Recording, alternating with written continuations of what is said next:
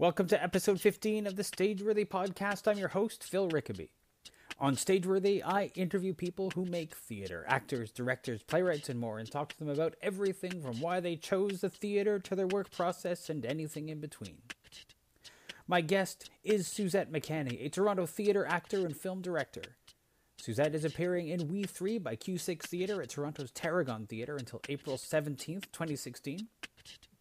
Suzette joined me to talk about the process behind creating We Three, her discovery of film directing, and more. She and I also managed to forget the names of things we should know. For example, she forgot the name of the new colony, while I forgot the title of Shakespeare's As You Like It. You can find Stageworthy on Facebook and Twitter at StageworthyPod, and you can find the website at stageworthypodcast.com. If you like what you hear, I hope you'll subscribe on iTunes or whatever podcast app you use and consider leaving a comment or rating.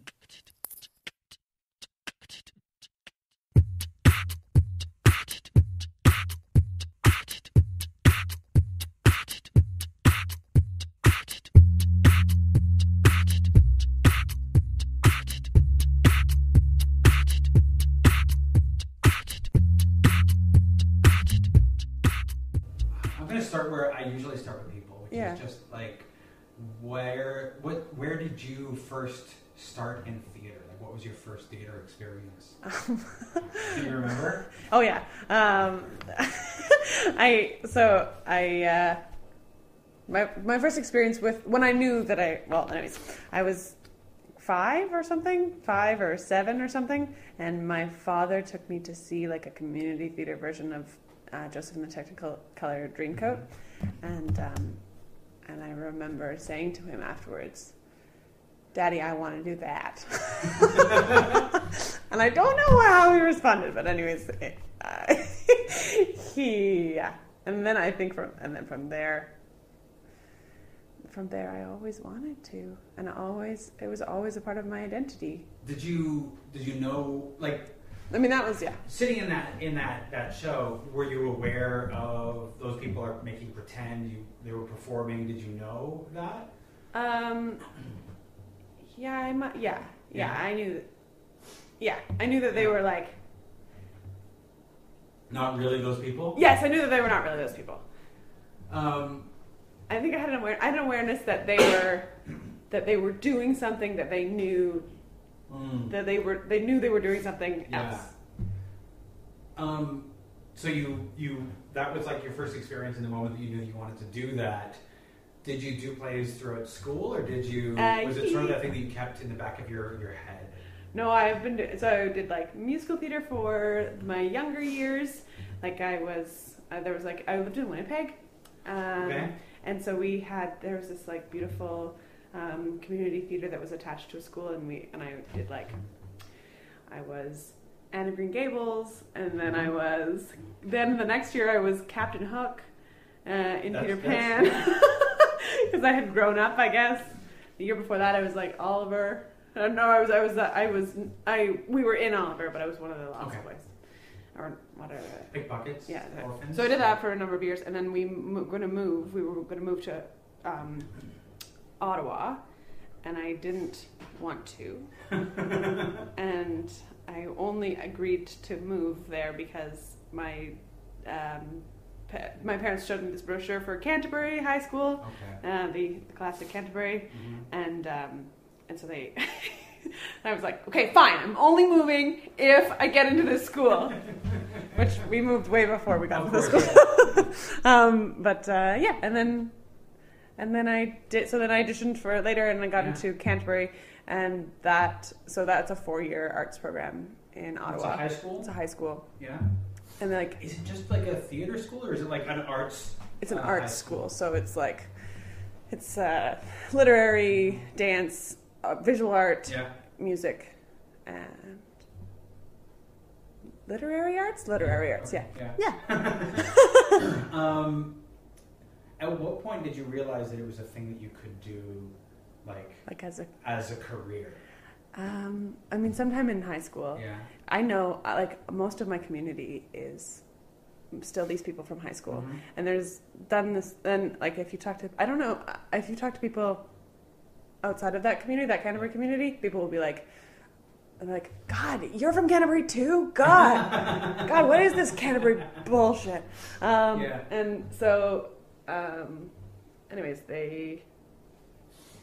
So I think we kind of all decided together that we were Yeah. like, we're gonna do this. We're gonna make theater. We're gonna, um, we're gonna be artists, and yeah. So we sort of started. We started there when we were all like a little little baby fifteen year olds, and did a lot of zoo story and um, and and like the Crackwalker and Judith Thompson, and sort of fell in love with all the Canadian Yeah. works. Were you self-producing there, or was it like the school would would uh, would put on these shows as well? We did a bit of both. They had like some big, big ones at the end, but I was self Mm-hmm. like there was there was definitely self producing.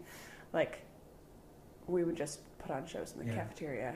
It's really the kind of thing that you can really only do at like an art school where they're like, sure, Sure, do your go for it. And of course, when other people are probably like, all right, I'll see it. Whereas, you know, if you're in a regular Yeah. high school and like, I would put on a show in a cafeteria, they're like, Uh, uh, I don't know. I do don't even know what- like, what are you doing? Throwing stuff. yeah, totally. Um, Um, and out of Canterbury, um, did you go into any other school, or did you head straight into the to the industry? no, I went. Um, I went. Did a year at Ryerson for Mhm. theater tech, and so I learned how to sew Jacobean underwear really well. And so I did a little stage managing, a little bit of production management stuff there. Um, and that, I, then I was like, oh no, I need, I need to go to acting. Um, and I was I, and so I, then I then I auditioned the following year for uh, University of Windsor, Yeah. and that's where I did.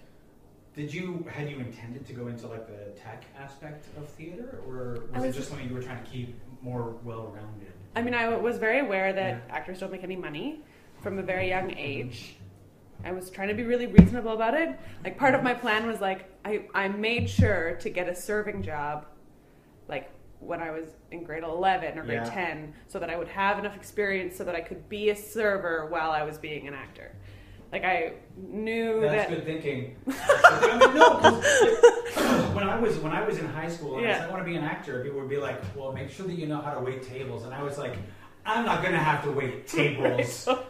I'm too good." I know my. I know I'm gonna be, you know, Yeah. but you know, it's good to, to get that in.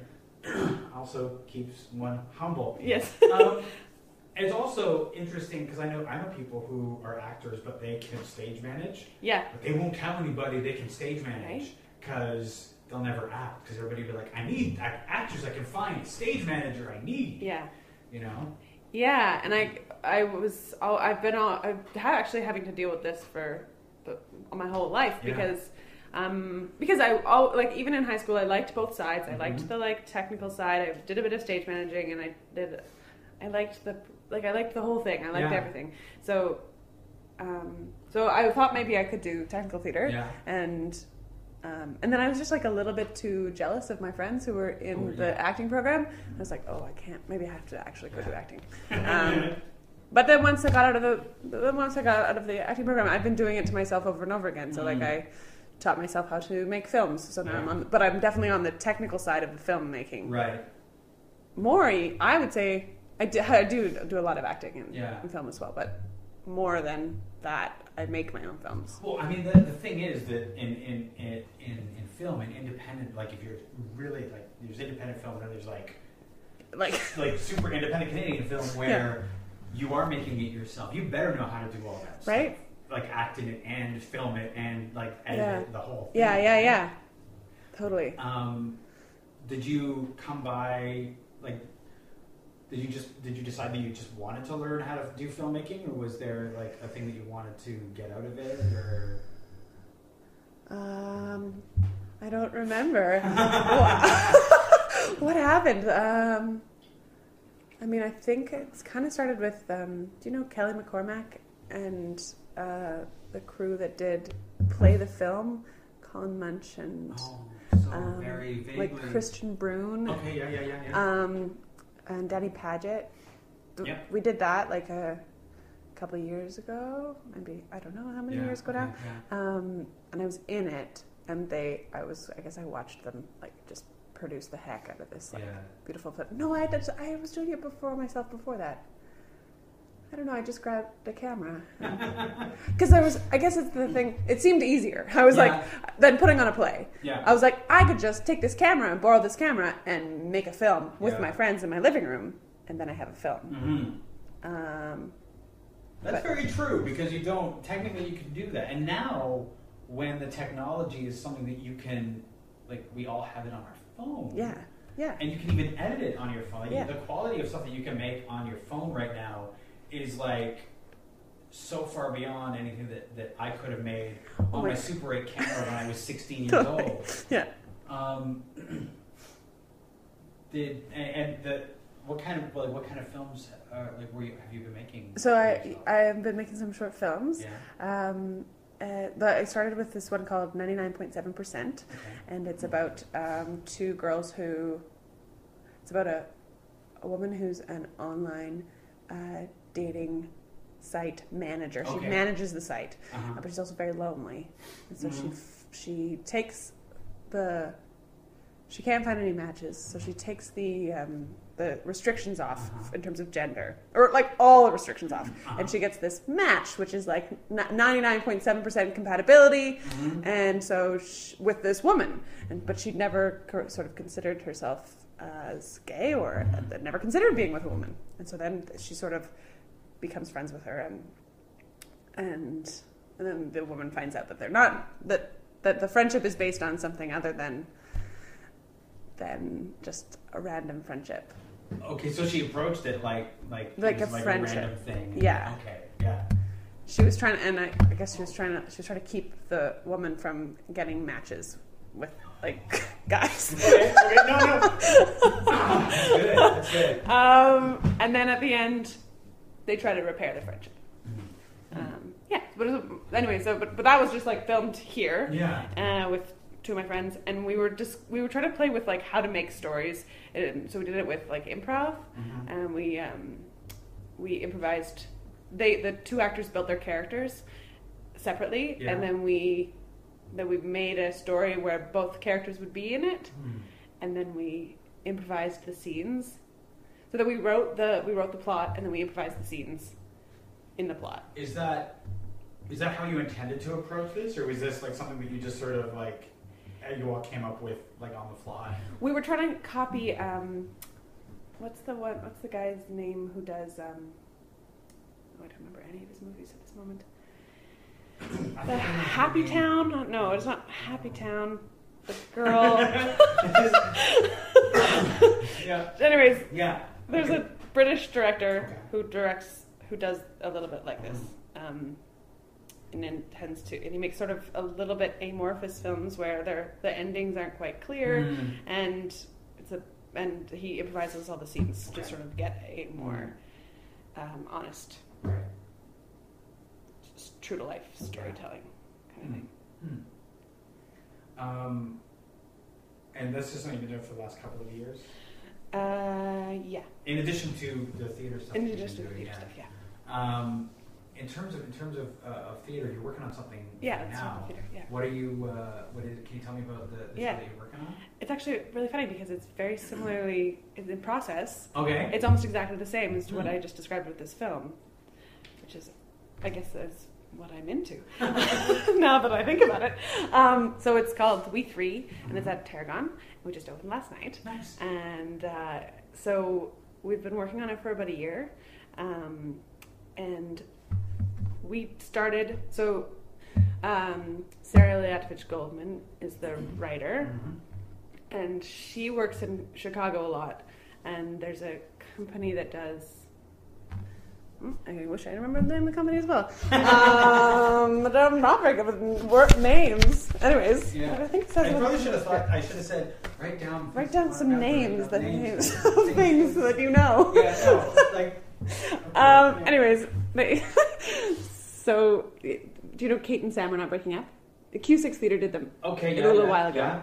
Um, so that that play was um, made in the same way, where you Mhm.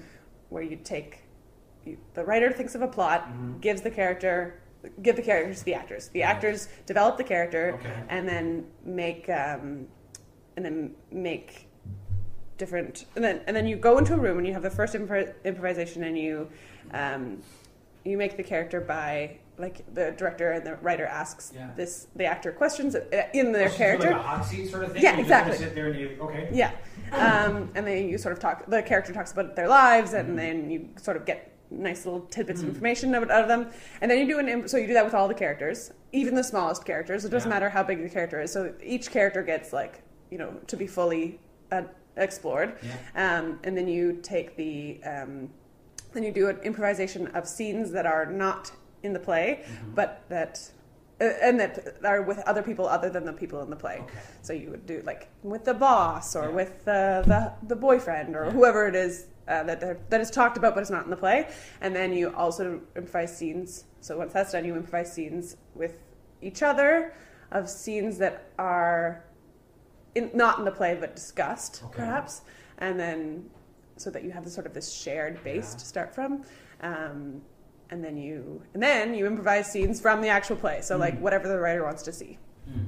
And so then, the- then the writer records all that, takes all that away, and writes a play. Hmm. And that's where this play came from.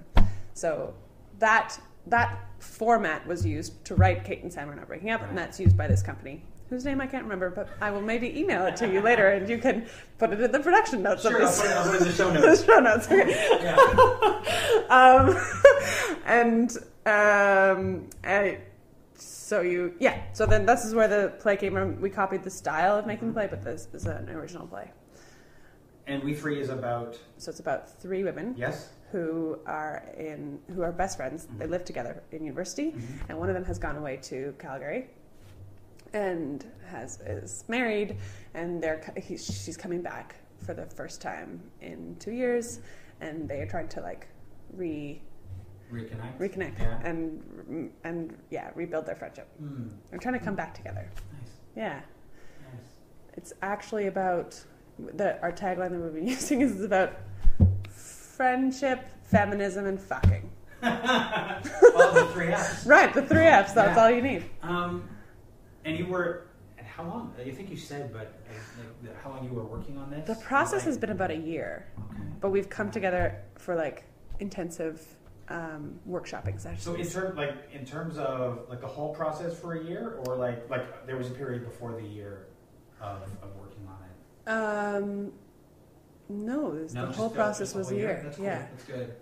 it was supposed to. We started last April, and we were going to go up in October. hmm but then we got pushed back to April. So it's been a full, a full year. Um, I feel like uh, every year for the last little while, I've seen your name uh, almost constantly on shows, like independent shows or in uh, Fringe Yeah. for the last few years. Um, and it seems like you keep popping up. Um, it seems like you're really busy uh, with stuff. Um, and that's really great. Thank you. Are you, um, obviously, you enjoy the production side of it. Yeah. Um, do you find it difficult when you're uh, acting to completely divest yourself of the producer brain? It's interesting. Um, yes. Yeah. Well, yeah. Like I have a deep respect for my Mhm. stage manager, course, and I have a deep respect for my producers, Mhm. and especially on this show, like the the my producers and my stage manager, uh, for example, uh, are doing an amazing job. Yeah. And so I just feel a huge amount of respect for them, and Mhm. but know that that's not. I do know that that's not my job, Yeah. and and yeah. that my role in this, like my role, like we're all working together. My end of the bargain is to know my lines and be emotionally prepared for the production. yeah. yeah. yeah, Um, I know for myself, I, I, I, I mean, I obviously I respect stage manager all that. of course, of course. In the back of my brain, I'm always like, like the producer just doesn't always turn off Doesn't off. turn off. me. Yeah, and that's that's like a, a, a huge challenge. Probably because I didn't, I didn't produce early, like early on in, my your career, you've done a Um, lot of producing since. Since yeah, but early on it was like, well, when I was in theater school, nobody ever talked about self-producing right, at that point. Right. So it was all like, you know, when you get the job. Right. And so when it once I started self-producing, I didn't have like a background of, oh, now I am in this role of in behind the Oh, scenes, and right. I'm in this role. I think it's something that you have to that you have to learn. Yeah. And uh, if you don't, it's like it's a it's a muscle that, Yeah. that is sort of undeveloped. Especially that muscle of being able to like turn off the producer brain or the the, the like the writer brain. Yeah. like that, Yeah, which is- yeah. Which is really difficult. Um, in terms of uh, the fringe shows and Yeah. things that you have done, um, so I think you did some I- Shakespeare. Yeah, I do a lot of Shakespeare lot of Shakespeare BASH'd, of course. Yeah. Um, Is that like, and that's at that's at the the Victory Cafe. Victory Cafe, yeah. That's like almost like every year. Yeah, it's coming again this year. We're gonna start rehearsals in May for. I don't know if they're not. Well, it's, it's just like it's, it's a Shakespeare play. It's a So Shakespeare we'll just like, yeah, play. I think they. I don't know if they've announced it. Well, you know, we won't, we won't, we won't, We won't discuss discuss it. it. We won't discuss it. But um, obviously, pretty much every actor loves doing Shakespeare. Yeah. Um, of the shows that you've done with Shakespeare, Shakespeare BASH'd, Yes. you, is there one that you have enjoyed the most, and a role that you've enjoyed the most? Um, I don't think I can pick a favorite of Shakespeare BASH'd plays. Um, my first one with them, we uh, was um, the. I'm really bad at names. Um, with the princess from France. Um, it Henry? no, No, it was a comedy. It was a comedy. Comedy, comedy. not a Apparently, I'm going to be really bad. No, we can't remember. Too. All of the Shakespeare. not two gentlemen of Verona, but this is much ado about Much nothing. About nothing. Okay, Oh yeah, God, yeah. thank goodness. A name. Oh God. Oh, okay. We did it. good, We're good. We're good. We're good. um, yeah, yeah, yeah. Uh, yeah. So then, so there was the that that was really fun because there was like, like three girls Mhm. or four girls and four boys, and we were like. Um, like the, the, the young lover teams, Yeah. and we were like fighting against each other. The the, the, the team was just so fantastic and Mm. hilarious. Um, so yeah, that, that was a great time. Um, and then last year we were doing. Um, I last year I got to be this. Well, last year me and Julia were um, the two the Merry Wives of Windsor. Mhm. So we got to be Mar- the Merry Wives together, which was so fun. Like, and I like, I love, I just love, love the way that they cut it. Like they always cut the shows really well. The hour, like, because it's hard to get down to an hour Yeah, and a half, yeah. right? Um, so my favorite part of working with Shakespeare Some are easier than others to get down to an hour and a half. That's true, yeah.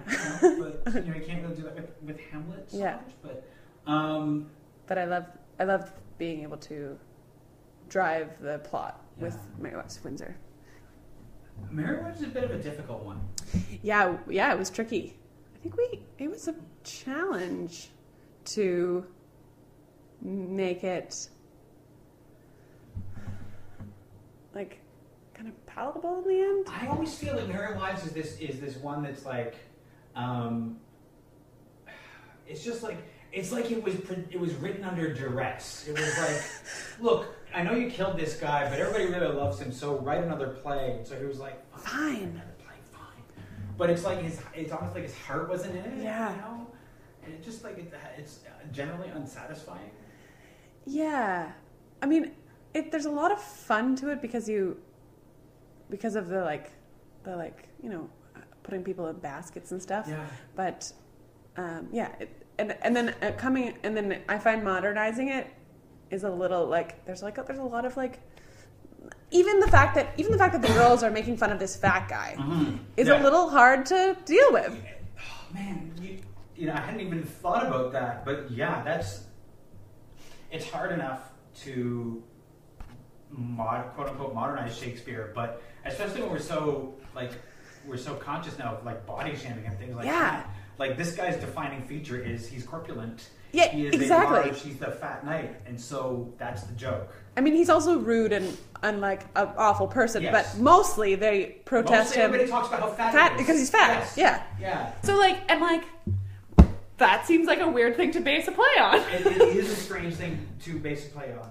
I al- there's always that like I remember when I was younger, I was like when somebody would say, "Oh yeah, Shakespeare's," you know, we're just gonna throw modern clothes on. I'd be like, "Modern clothes on Shakespeare?" And I, you know, I'm like 16 at the time or whatever. I'm like such a snob.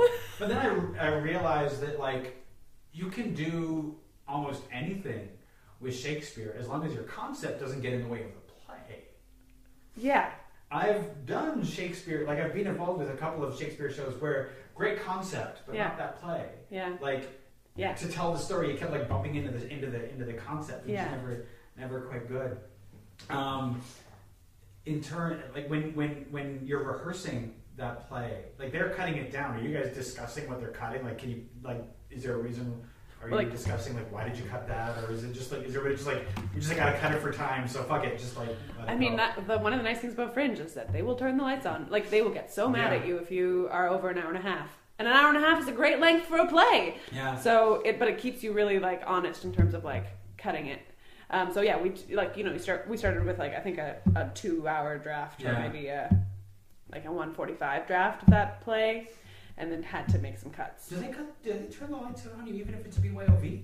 Well, it, they don't turn the lights on, but if the, if you make uh, your audience members late for the next show, they get so mad. People, people are always so tight. Yeah, back to back. Yeah. yeah. So yeah, you're not allowed to. You're not allowed. no, you are. no, you're not. allowed. You're not. You're not. Um, is there something that, that you're like that you that you wanted to do with Shakespeare or anything else that you're like, this is the thing that I, I like I want to do. Um, like in terms of um, starting with Producing starting or being in the like, show? Well, either or. Like, is there a dream Mm. Shakespeare that you would produce? oh, is there a dream Shakespeare that I would produce? Because I know, I know mine. I know what mine is. Somebody comes to me and says, "There's, a, you want to do a Shakespeare? Shakespeare Here's play? the money to do it." Boom. Go, I know. I know. What is it? Uh, now I'm gonna. No, you're gonna blank the name. Oh no! Um, What happens in it? The- you know, the one with, the, with Touchstone and the and the yeah, you know. Wait, the, uh, the, uh, the, the play's the thing. No, no, yeah, no, no, no. It's the one. All the world's a stage. Yeah, that's I one. know. It's got the thing with the stuff and the Rosalind. Rosalind. Yeah. It, it takes place in the forest. Yeah, Of the Forest of Arden. Arden. Is, it's about. It's uh, called. It's called Orlando the Wrestler or some shit like that. And apparently, this forgetting names thing is like contagious. Oh my god. Come on, wait. It's, Not your gentleman of Verona. It's It's um, much. No. No. no. It's you know. All's well that ends well. Well- No. Nope. No. It's it is. Um, We're really good at Shakespeare. really we do so a lot of Shakespeare. It's Yeah. like I'm sure that this is the reason why, but you know, it's, it's that play. That's the one that I would do, and I know exactly how I would do it. yeah. So That was a tricky one, like- too. I know. I- There's only one little piece in it that I'm still like working on in my brain. The um, the end. The, the lion. The I lion. even know how would I how I'm How'd you do Hymen? Oh, just What? fucking priest. You oh. know, Oh. I didn't even like cut out that whole part where the Yeah. goddess comes out. That's the one thing about that play that's like, is, and I almost got a flash of what the fucking name of the thing was, and now it's gone. I am really earning the explicit tag on this podcast too today. with all the F-bombs I'm dropping. But, but like, you know, let's just open the curtain. Whoop, whoop, it was a goddess. Here she is. She's gonna make everything fine. Okay, and It's like ridiculous. Okay. But the lion? What part is the lion? Oh, like um the the the brother is sleeping under the tree and the, Oh. the lion and the snake and there's the whole thing of Oh, why yeah. up there and all this stuff. And it's like in my setting that that's the one part that I have to work on that won't work. But Right.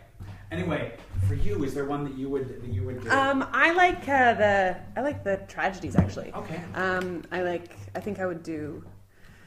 Uh, Mackers. Hmm. That's which is where we met. Yeah, exactly. Yeah. Macker like I I've done Mackers a few times. Yeah, me too. Actually, Like, I've done it's and I've seen it a few times. Yeah. But I guess I'm not. I feel like I'm not over it. Uh, See, I'm. I get this. I get in this phase when I'm like so over it. Yeah. I'm like, I have done this play so many, So many times, times. and I've seen it so many times. I'm kind of over it, and then occasionally I'm like, except maybe I. Except maybe now. Maybe now I Yeah. can do it again. Is there something about it that you really that really draws you to it? Um, the witches. Okay. But no, and now I'm changing my mind. and you. Can You know what I would like to do? Oh, and I, re- I really like uh, uh, the Richard the Second, Right? Okay. the one where um, Margaret is still young. hmm Um, um, and she's got that beautiful speech about that. But but I think if uh, if I'm going to produce a Shakespeare, it will most likely be like cross cross cast. Yeah. because I'm quite a bit of a feminist, and it really, it really just never stops. Well, I mean, Um, the, like, let's I face love- it. Let's face it. A lot of Shakespeare's roles for women are not awesome. Yeah, because with the exception of Cleopatra, most of them are like Shitty. they're really shitty. Yeah.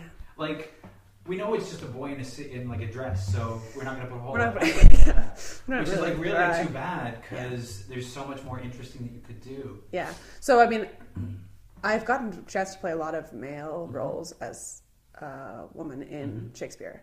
Um, and like either you just like like I was in the one in Brampton where I was playing Benvolio as a girl.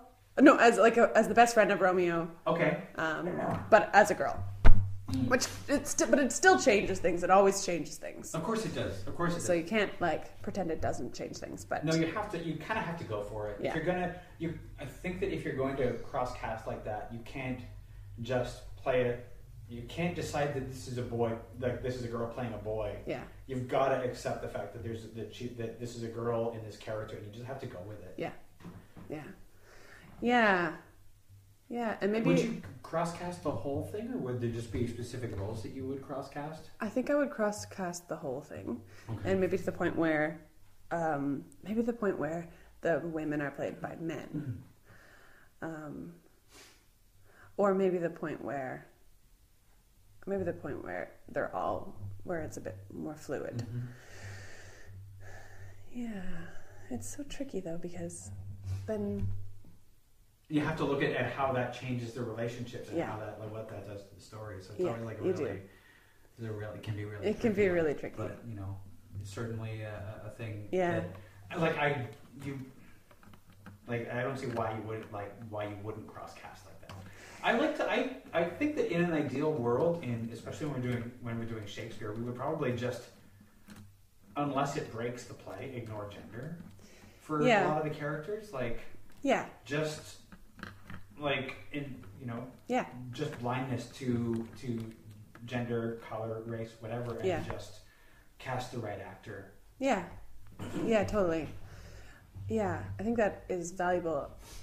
Ugh, I can't. I, somebody was telling me a story about like um, European theater versus Canadian theater, Mhm. and actually now I've heard two different things, so I may be wrong. But they were saying that it's that they were saying that in England it's more people are more um, resistant to uh, like cross casting, Mhm. maybe even especially in race. Mm-hmm. Um, They want it to be more. They want it to be more realistic. Mm. But I might be. But then I had somebody else who said that was co- totally wrong. I, I've actually never. I don't have first hand It knowledge might, of it this. So I don't know. just depend on where you are. Yeah. You Yeah. know, I we saw an article earlier today that, that was like. Uh, 85% of England, of people, of the English will not accept a female Hamlet, and I was like, I don't even know how you pull for that, but like, I don't even know, like, because you know, until you see it, Yeah. you can't really, you can't really like say, "Mm, no, I wouldn't, I wouldn't accept that. Yeah. Um, Female Hamlet would be great. I haven't seen Female Hamlet.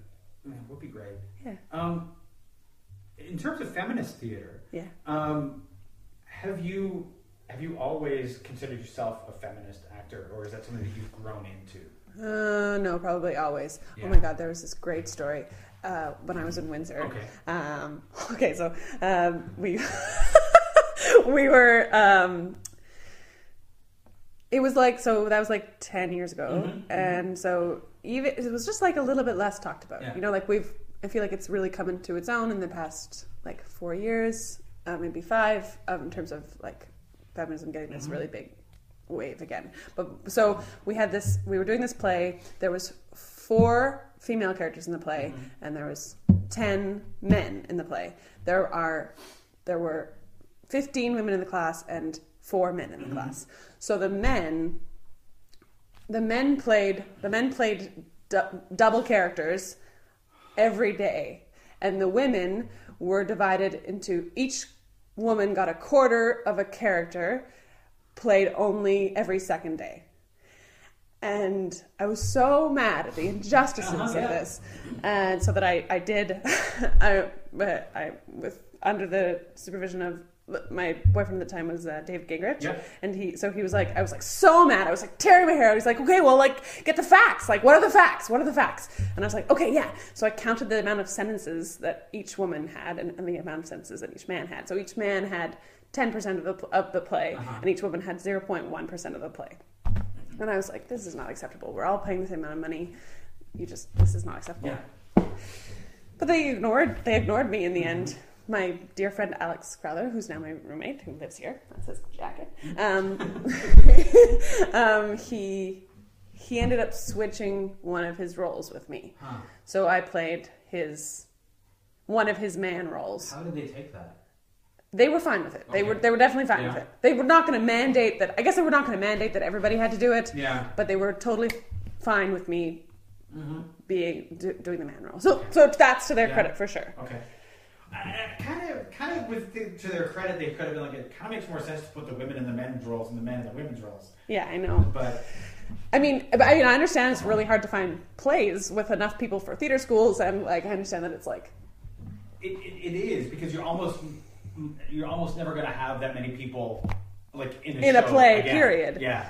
Um, yeah. If I think if a writer wanted to make a lot of money, Mm-hmm. they could write a couple of like, like you know, thirty person cast plays with about fifteen women and four men that weren't bad. uh, Well, I mean, if you were going to look at the, the actual demographic of a theater school, it's you're, you're Mostly see women. it's mostly women. yeah, and uh, a few guys, Yeah. and you should, you know, there there needs to be some stuff that can do that. Yeah. And I think a lot of the theater schools should probably be a little more adventurous in their casting Yeah. and that sort of, especially when we're. You're, they're often doing the classics anyway, yeah, which makes them difficult because you know if you're doing "Tis Pity She's a Whore" yeah, and it's all men except for a couple of women, yeah, um, like honestly, Yeah. reverse it, yeah. Why not? make it "Tis Pity He's a Whore." Like let's turn that on, like turn Yeah. that on his head or whatever. Like, It, and the thing I found playing that man, role, Mhm. and I have found that this, I've found this true a, a lot of times, is that it actually uses different, like there are just there are tactics and like power dynamics Mhm. that are written into men's roles that I would just never use in my daily life. Right. Like I the the character that I was playing anyways was a was a like a the head of a company Yeah. and I didn't. I have never used the like. I've never wa- like. I don't. Most of my characters don't walk into a room and already have power. Yes. Yeah. Um, and so it was odd to try to. It was just very. Uh, I was very aware that I wasn't that I was using tactics that I didn't know how to use in real life. Hmm. That I didn't use. That I didn't use as regularly as, as the more Hmm. female tactics. What did you? Did was there something anything you took away from from that experience?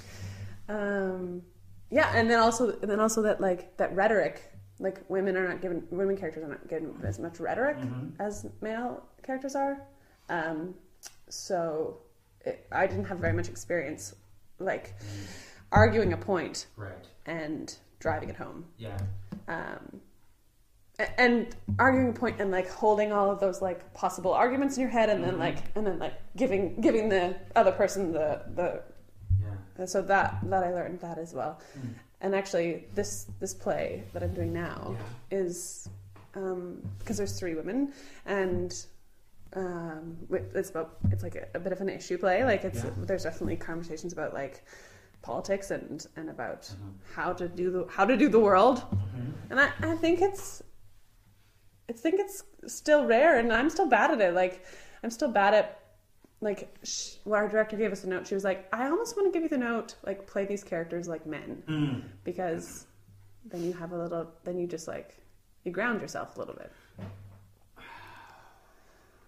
I'm just trying to think of what the so with that particular piece of direction, what's the what are you doing that needs the play it like men Yeah, like direction? Like what is the do you know what it is that that the director was trying to combat from from you? I mean, I think we were playing.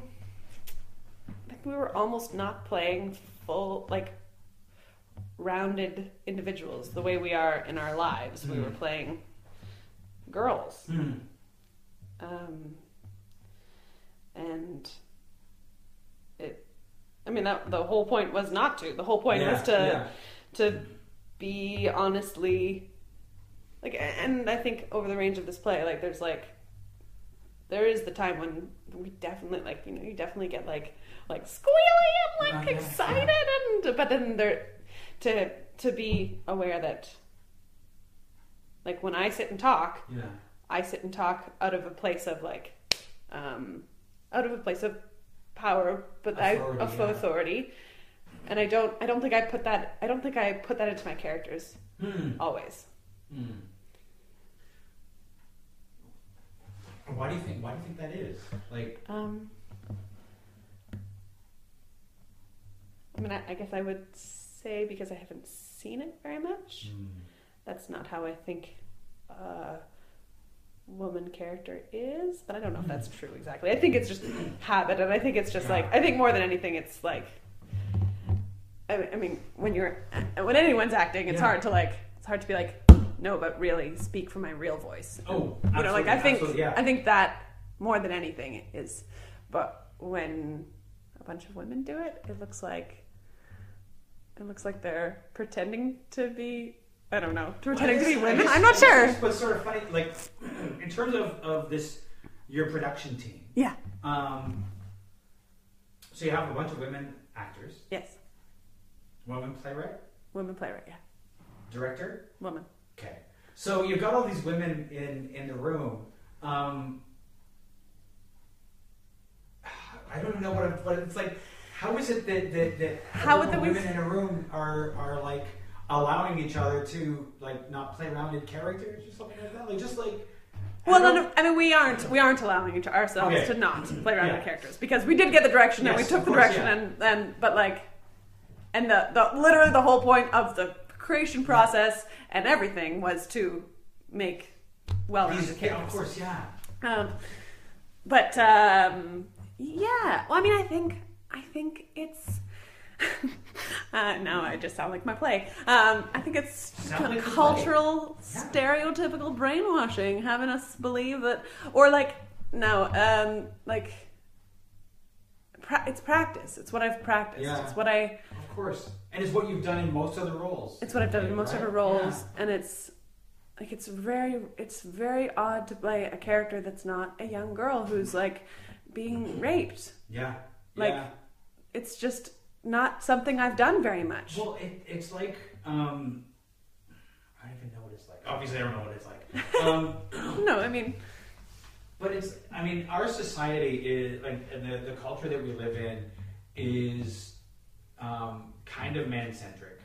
yeah, Although we are getting better at calling getting- guys all out Yeah. on their man centricities. yeah, Um, like people are getting better at calling each other out, calling dudes out on, on their mansplaining yeah, and their manspreading. Totally. and uh, uh, it's just that on you know we still have the internet where people where dudes are like yes. like assholes. The internet's um, a terrible place, but The internet is a terrible And a wonderful place, and but- both terrible and wonderful. um, and I think that that we you know I, there's all these great initiatives for um, uh, equity in theater and Yeah. things like that. And I see all these conversations on uh, playwrights, uh, blogs, and Facebook groups about um, the lack of women represent representation yeah, in theaters, and I think there's an awareness of it. yeah, I just don't think that, that that awareness is filtering through to all the places that it needs to go yeah, quite yet, yeah. I don't think it's quite trickled down yet. Or trickling up. I Or think it's trickle up. trickling. I Oh, think that's a it's- good point. I think it's got to trickle up because Yeah. down near the bottom, it's all It's- there. Yeah, Uh, the people who are programming and the people who are Yeah. who are putting seasons together and things Yeah. like that are not quite not quite doing it. Oh it. my god! But I have a friend. I have a friend who's working um, at a regional theater, Mhm. and they are trying to program their next theater, their next season, and they they the the programmers are aware that they need to be programming some female playwrights, Mhm. But they can't. They say they can't find any, um, and.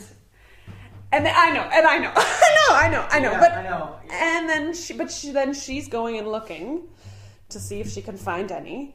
But there are so many other, um, like you know, block like rules that the, these Yes, plays also yeah. need to fall into. Okay. Yeah. That it's it's hard to Mhm. because because there are not as many ones from before 1950. You know, I mean, you know, if, if the mandate is, is Canadian plays, then absolutely that, that makes it kind of difficult. yes, right. Um, because um, theater didn't really exist so much in Canada before. Or- yeah, like, even there's- the 60s. It's So like of- time, like yeah. we're behind a little bit. So Yeah. like I see that for sure. Yeah, I don't know because figure like if, if you if you know that it's an issue, you can always like approach female playwrights and say And say hello, please write hey, a play please for write us. a thing. Yeah. Here's our mandate. Please write within it. You Yeah. know, but.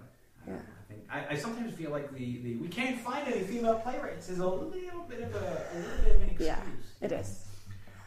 I know a couple of people who have been like, they're- they they've made it their goal this year that if somebody, if there's a play, and it's all dudes, they're not going to see it. Whoa. If if there's a if there's if you're doing a show, and you didn't cast women in in the play, or you're doing Shakespeare or something like, Yeah. you're just not going to see it if it's like all dudes. Yeah. And I think that that's in a, in a way that's one of the only ways that that we might make an impact on like, Yeah. changing the way that theaters do things is Yeah. like do it or we're not buying tickets, you know? Yeah, yeah. I feel like I have such a beautiful network of like these really amazing female Mhm. artists that are making plays, and a lot of writers, a lot of producers, and Yeah. um, yeah. And I think I don't, I, I don't. I think uh, the people who I'm interested in, and therefore the people who I work with, are very much Mhm.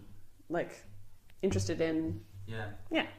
It's it's interesting because if I look back at uh, the people that I've spoken to for this podcast, um, unsurprisingly to me, the vast majority have been women. There Yeah. More women than men that I've spoken to. Oh, interesting. Um, and whenever I am like looking, like seeking people, if I whether on Facebook or on Yeah. Twitter, I say, "Hey, I'm looking for people to talk to." Yeah. The actors who come out of the woodwork are almost all the actors, playwrights, directors are almost all women. Hmm. That's And yet, and yet, when we look at our stages, we see shows that are mostly dudes, Yeah. which is kind of a weird thing. Yeah, and I, I mean, I, yeah, I don't have anything against dudes. No, no, No. And, you know, I don't either. I just like I just like a little diversity. Yeah. In my stages. I mean, and then you start talking about like, so then you're talking about diversity, and then you've got to talk about everything. Then you're Yeah, like, you do. then you're talking about racism. Then you're talking about, uh, not racism, but racially uh, Absolutely. awareness, and or but like ableism. Like I mean, once you go down the path, there's a lot. I think we got to. I think, I think we got to do- go back, go down the path. I We think gotta just do go it. down the path. We got to do it because I think that our our, our theaters and our, our our arts will be stronger for doing that. Yeah. But I think we got to fight through the change process. Yes. Which is, I think, going to be a little bit rocky for a few more years. Yeah, I think so too. Unfortunately. But I do think our, uh, like we did, we did this show, this this show for um, our preview audiences were on like uh, on the older side, like they were an older generation, um, and our opening night crowd was much very much younger, and it was like our generation. So, Yeah. but it wasn't like they didn't. It wasn't like the the um, the generation above me didn't like it. Mm-hmm. I think it was. I think they like so. Sometimes I, I think that like our once once our generation moves up and then it'll all be fine. But um, I don't think that's true. I think that there's lots of people who. I think I think the like I think they are just as aware of the problem as we are. I love to think that you know once the old guys retire, I don't think- and yeah. we all move up, then it's going to be this utopia of like diversity and and equality and not- feminism yeah. and stuff like that. And but I kind of look at you know people that I used to know just generally in my life, Oh, most yeah. people who were like you know when they were younger, Like they were like the most socialist people that I knew. Right. You know they're Totally. like and now they're like, you know, they're voting conservative and Yeah. they're worried about their tax cuts and why should I pay for the arts and things like that. And Yeah. Like, I'm sort of worried that you know we're going to get there and it's going to be too late because we're going to Because we're now we're gonna be uh, now we're gonna be yeah. not aware of the problems. No, I think it's a good point. Yeah, This is I don't want to, I'm not going to end on this particular note because I think it's a little bit it's a little bit depressing. to- Yeah. To, like end on that. Well, we're fucked. So, um, Okay. In terms of uh, like this show, how long does it run for? it runs until uh, next Sunday, Which is April. April on 18th. Wow, we are not good with names. Terrible or this dates. game. My God. We're no Oh. seven, April seventeenth. Seventeenth. 17th. Seventeenth. Okay. Seventeenth. Um. And uh, after that, you're Yes. working on the next show with Sha- Shakespeare BASH'd, That's which right, is yeah. which we can't say. Yeah. Oh. Yeah, we got a thing. And, um, um, very excited about that. Uh, do you know what you're doing after that? Um, I don't know what I'm doing after that. I uh, I've got I've got some mo- the I've got some three films that I'm trying to get into the festival circuit right now. Um, so I will be doing a little bit of work on that, and hopefully sometime in the summer they'll be they'll get their premiere. Cool. Uh, yeah. Are there particular festivals you're pursuing, or is it? Uh, Um, I'm hoping. I'm hoping that um, breakthroughs might uh, to have it, and then there would be the that would be the Toronto premiere. yeah. Um, but um, I'm looking at also a lot. There's like there's uh, film festivals are crazy because there's so many, and it's, like there's just so many, and they're like uh, in the states and like lots of really cool. I guess they all want. They have their own criteria. For yeah, they all have. Yeah, they all like, definitely you know. do. Do is do you find that that um, applying for the festivals is kind of like applying for grants or anything? Like you have to like use the buzzwords that you think they want to hear and like word it in a specific way so that they'll get their attention or anything like that. Yeah, yeah, yeah. You do have to do a little bit of that. It also costs a lot of money. Oh my god, does it? yes. Oh, Everyone So you- costs like Do you have to 60 bucks. And this is like uh, this. Is Yeah, no, totally. Are you? Do you have to like pay an entry fee to get in? Like even You have to- your application looked at? you have to pay an, a fee to apply. Oh. So and they're about like sixty to like they're forty to hundred. Okay. But then if you apply to a bunch of them, that, yeah, that, that adds up. really gets adds up quickly. That's, that's like that's like a blind to fringe festival. Yeah, yeah. those, you know? Yeah, You know, yeah. which has that. Hey, I got into the fringe. Shit, I got it. um, are you on? Are you on t- on social media? I'm on the Twitter. You're on the Twitter. The Twitter you can find me at Suzette McCanny. And uh, do you have a website or anything? I like do that? SuzetteMcCanny.com. That's. Um, uh, but you can find it all through uh, Twitter. Twitter's probably a good place to find me. great. Well, thanks so much for. Thank you so much for talking to me.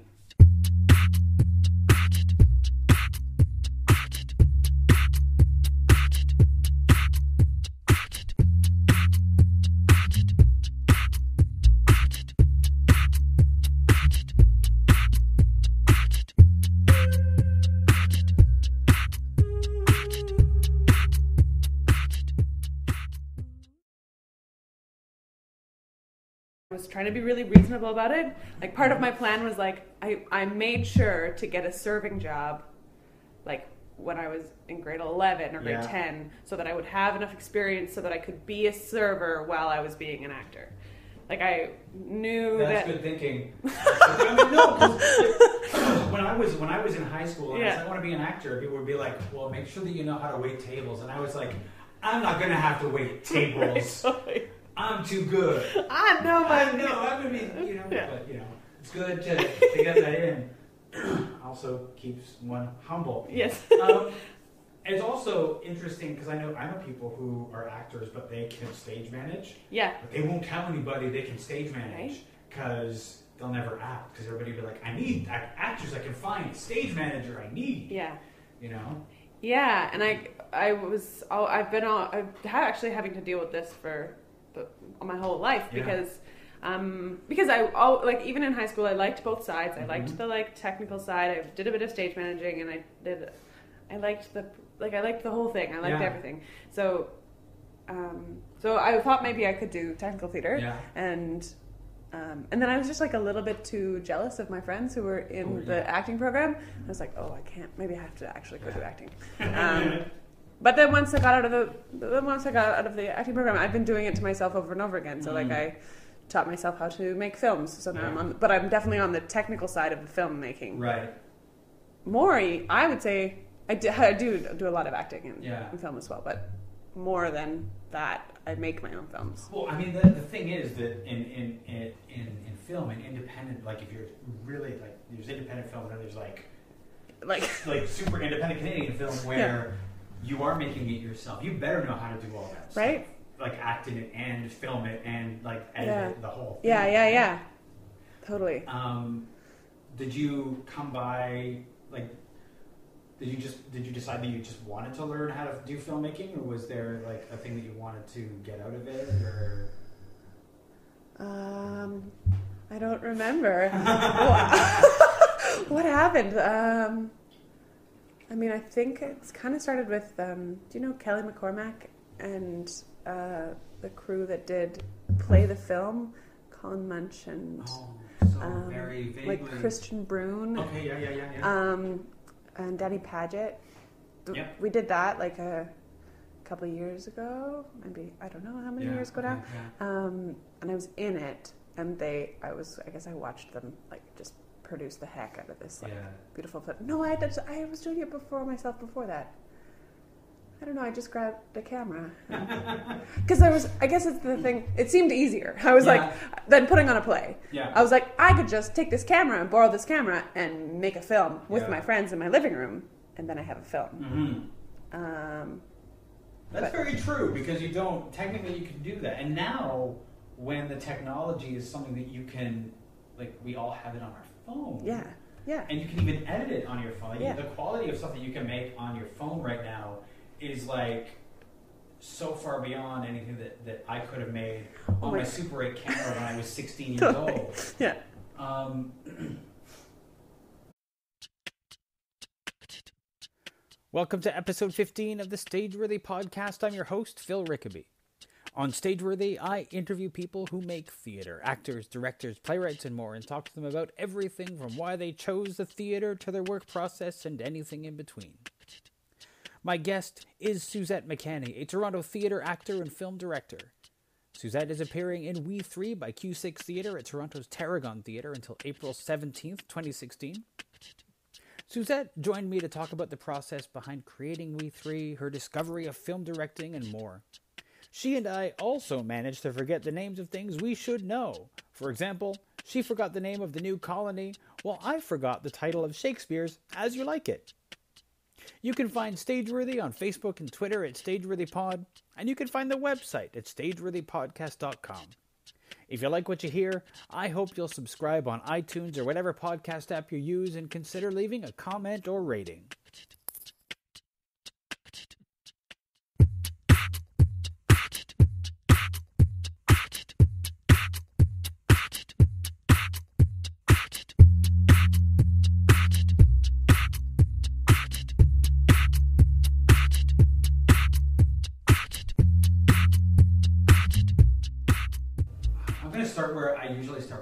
Yeah. just like where what where did you first start in theater? Like what was your first theater experience? Do you remember? Oh yeah. Um, I so I uh, my my first experience with when I knew that I well anyways I was five or something five or seven or something and my father took me to see like a community theater version of uh, Joseph and the Technicolor Dreamcoat and um, and I remember saying to him afterwards. Daddy, I want to do that. and I don't know how he responded, but anyways, uh, he yeah.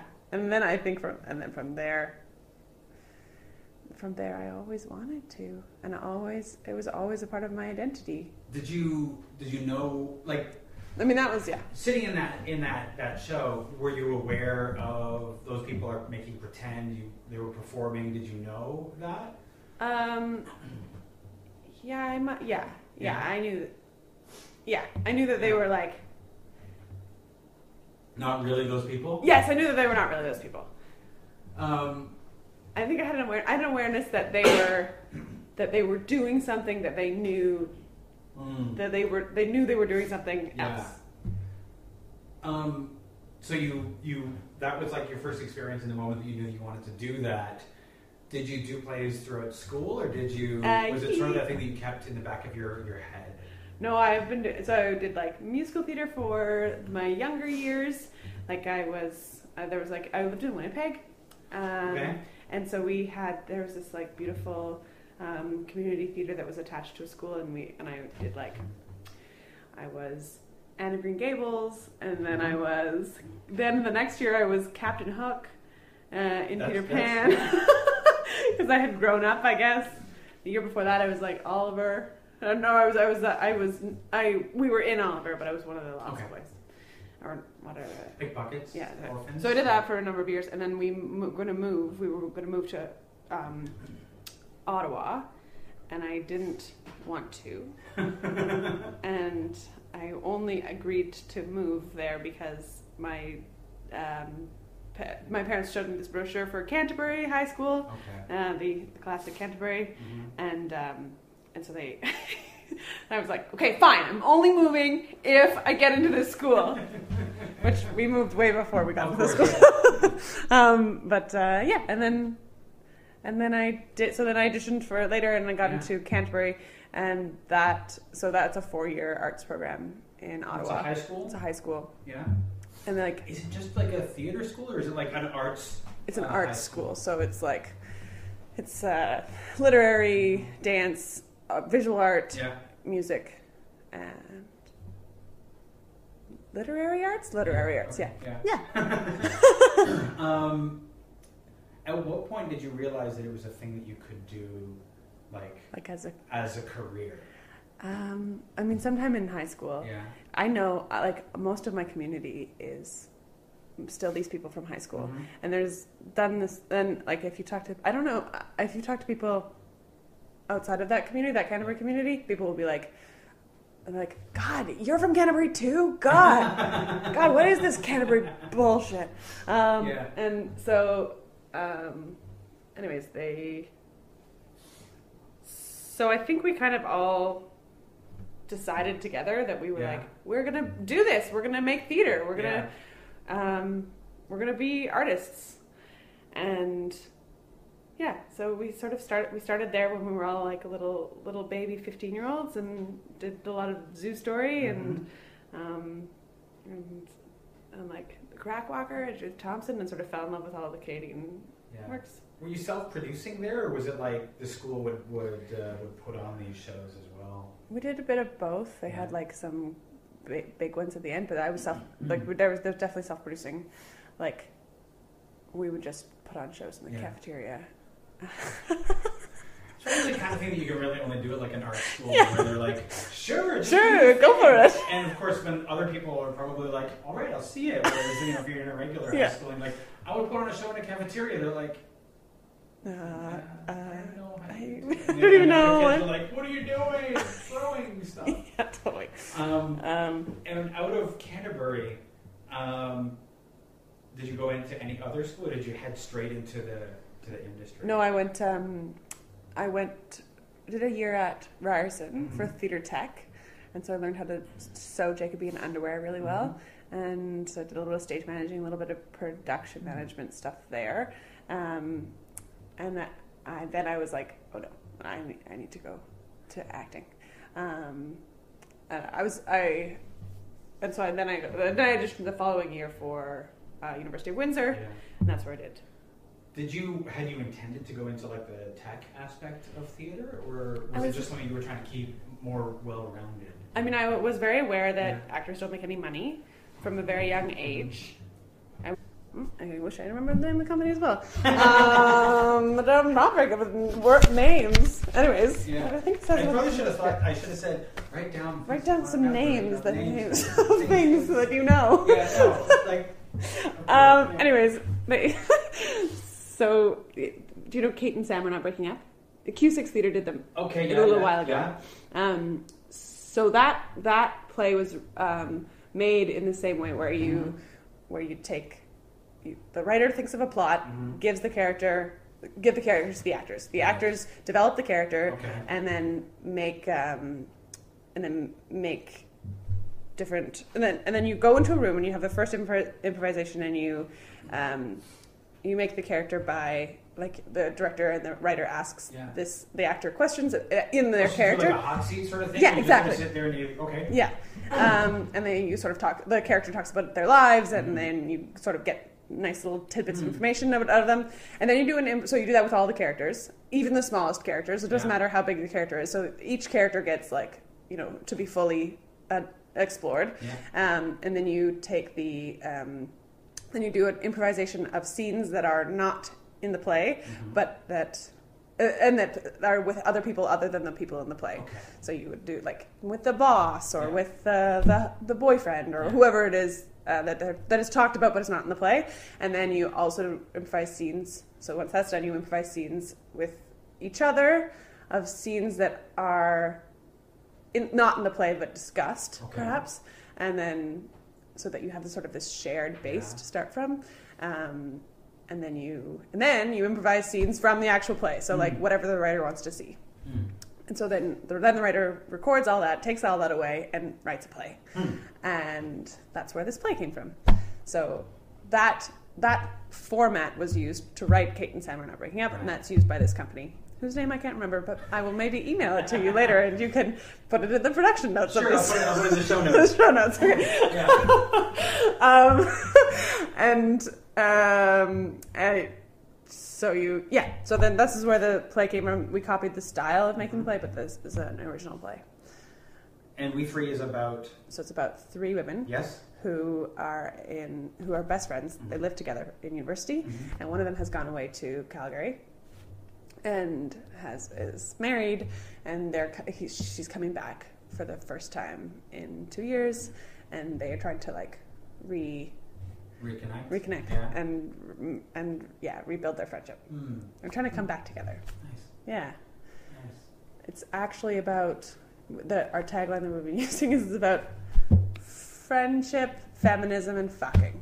All the three Fs. Right, the three Fs. That's Yeah. all you need. Um, and you were, and how long? I think you said, but like, how long you were working on this? The process has been about a year, Okay. but we've come together for like intensive um, workshopping sessions. So in terms, like in terms of like the whole process for a year, or like like there was a period before the year of, of working on it.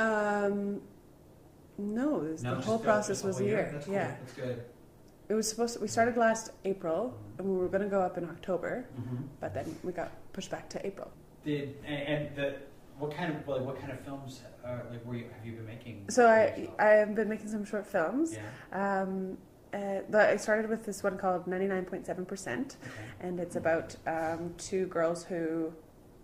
It's about a, a woman who's an online uh, dating site manager. She Okay. manages the site, Uh-huh. but she's also very lonely, and so she Mhm. f- she takes the.